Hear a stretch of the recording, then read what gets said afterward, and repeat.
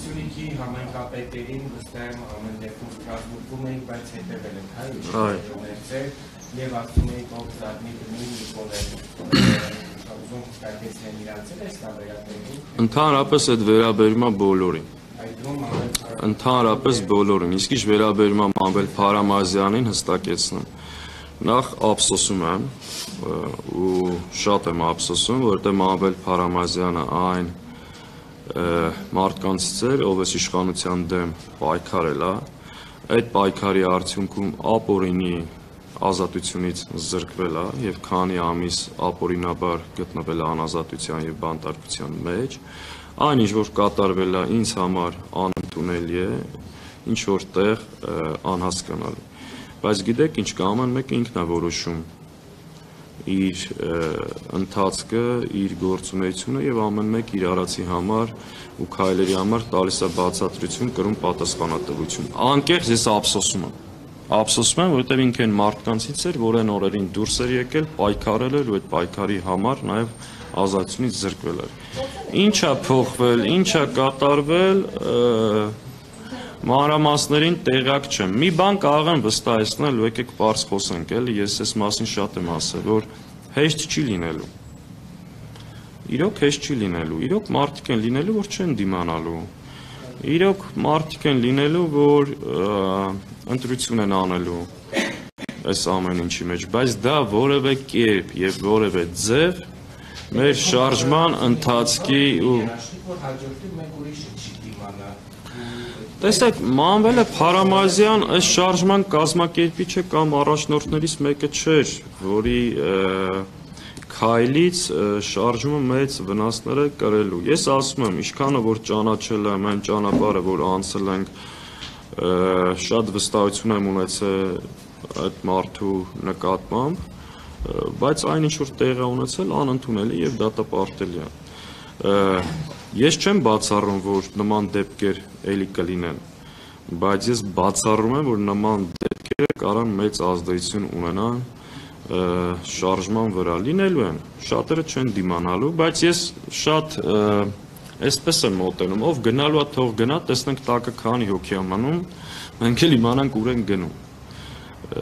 Այսինքն որևէ կերպ չի կարող ազդել մեր հետագա գործունեության արդյունավետության վրա, եթե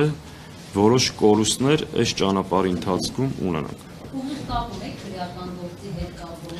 Ակնհայտ է, որ իշխանությունները ես վստահ եմ, որ շատ մեծ ու լուրջ ճնշում է գործադրվել իր նկատմամբ եւ դա բացատրում ու պայմանավորում եմ դրանով այլ պարագայում ը, չեր անի այդ բանը ինչ որ արել խնդրեմ այս կողմից սենց գնանք հա Եվրոպական խորհրդարանոցի վերաբերյալ Այո։ դուք բարբերաբար ասում եք, որ միջազգային երկակի ստանդարտներ են ը, կիրառում եւ այլն։ Այո։ Եվ նաեւ քննադատում էի ԵՄ դեսպանատան մոդել ակցիա է եղել, ինչը փոխվեց, ինչպես որոշեցիք ակտիվացնել հարաբերությունները կառույցների հետ միջազգային եւ նաեւ դեսպանի հետազոտությունների հասարակության պատգամավորները հանդիպել էին։ Սա ինչի է արվում, որ ձեզ այլևս ռևանշից չդիտարկե, թե ա, իշա, չգիտեմ, պետության, Արցախի եւ ինչ զեկույցի մասին խոսքը Արցախի մասին, ասացիք սխալվում։ Չէ, զեկույց լավ։ Տեսեք, նախ այն բոլոր խնդիրները, որ հրաապարակային բարձրացրել ենք, այդ հանդիպումների ընթացքում բոլորի մասին խոսել ենք։ Օրինակ շատ հստակ է հարցը դրվել է։ Հայաստանում տեղի ունենում ժողովրդավարության նվիրված միջազգային ֆորում, որի ժամանակ ընդդիմության ներկայացուցիչ կամ ընդդիմադիր լրատվամիջոց չի հրավիրվում։ Տեղյակ եք դուք արդյոք այդ մասին եւ ինչ գնահատական եք տալիս։ Արդյոք Հայաստանի ձեր ներկայացուցիչները այդ մասին պատշաճ ձեզ ներկայացրել են։ Այսինքն, այս հանդիպումների ընթացքում մեր գլխավոր խնդիրներից մեկը նաև իրական պատկերի ներկայացնելն էր։ Երկրորդ կարևոր խնդիրը նաև մեր մասին, շարժման մասին են պատկերացումները, որ ադրբեջանական պատվիրակությունները ձևավորել են միջազգային տարբեր կազմակերպություններում եւ մայրաքաղաքներում, հստակ բացատրել, որ մեր ուզածը որն է։ Օրինակ բոլոր հանդիպումների ժամանակ շատ հստակ դրվել այդ խնդիրը, որ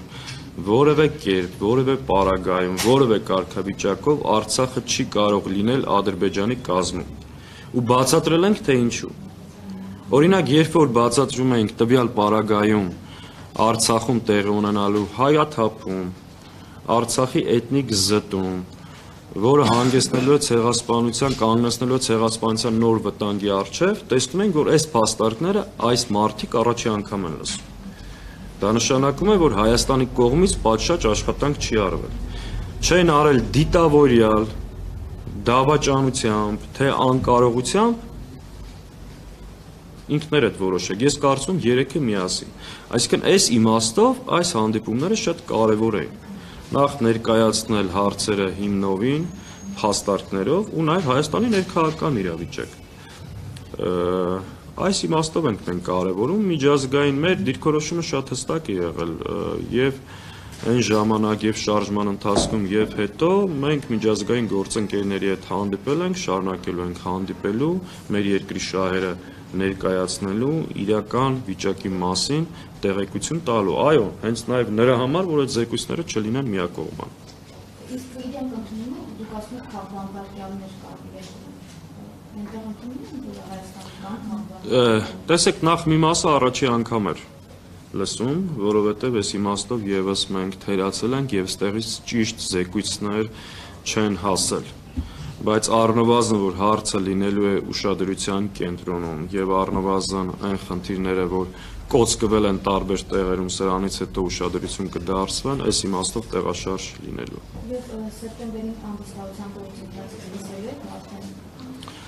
անվստահության ուրեմն Խնդրեմ։ Օգոստոսի 2-ից է սկսելու անվտանգության գործընթացը, օգոստոսի մասին է խոսքը խորհրդարանը ապրապտում է բնականաբար արտահայտել գումարը հնարավոր չի։ Եթե սեպտեմբերին է, պետք է դժվար է կտանգայի հավաքի ոնց է գել այդ ամենը չտեսնեն։ Նախ տեսեք, այս հարցը ես շատ հստակ եմ ասել ու մի քանի անգամ էլ նույնը կրկնել եմ։ Ես չեմ ասել, որ օգոստոսի 2-ից սկսում ենք պաշտոնանկության գործընթաց։ Ես ասել եմ, որ օգոստոսի 2-ից մեր գործիքակազմին ավելանում է եւս մեկը՝ պաշտոնանկության հնարավորություն։ Եվ ասել եմ շատ հստակ, մենք այդ գործընթացի մեջ կմտնենք միայն այն ժամանակ, երբ որ դրան հաջողության հասնելու համար լինի բավարար հիմքեր։ Այսինքն մենք ձևական այդ process-ի մեջ չենք մտնելու։ Այս գործընթացը կսկսենք բացառապես այն ժամանակ, երբ որ դրա հաջողության հասնելու համար լինեն բավարար հիմքեր։ Իսկ այդ հիմքերը իրավական քաղաքական առումով ակնհայտ է, որ կա, բայց այդ գործընթացը հաջողությամբ կավարտվի միայն այն դեպքում, եթե համաժողովրդական շարժումը հասնի այն կետին, որ այլևս այլընտրանք չլինի։ Հետևաբար այդ գործիքակազմը կա, կօգտվենք այն ժամանակ, երբ որ գտնենք դա այդ պահին արդյունավետ է։ Խորհրդարան վերադառնալու հետ կապված, ասել ենք, շարունակում եմ կրկնել, խորհրդարան վերադառնալու ենք բացառապես մեր օրակարգով։